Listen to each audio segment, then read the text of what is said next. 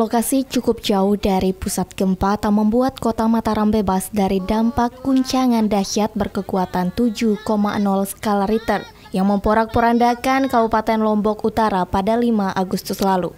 Pasalnya berdasarkan hasil evaluasi dan pendataan yang dilakukan oleh pemerintah kota Mataram, enam orang warga meninggal dunia, ratusan rumah rusak ringan hingga berat, dan 34 ribu warga masih mengungsi.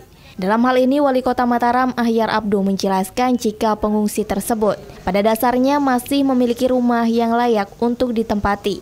Namun karena rasa trauma akan ancaman gempa susulan membuat kebanyakan warga masih takut kembali ke rumah masing-masing. Di mana pengungsi saat ini tersebar dalam 91 titik pengungsian di Mataram. Ahyar mengakui jika saat ini pemerintah masih berfokus pada penanganan kedaruratan, baik itu untuk korban luka maupun untuk para pengungsi yang membutuhkan bantuan logistik. Lakukan pendataan laporan sekarang ini yang meninggal itu kan 6 orang. Ini ada luka-luka 39, pengungsi 34 ribu ya pengungsi. Ini kan pengungsi ini adalah uh, apa yang kan tidak berani di rumahnya masih khawatir kan?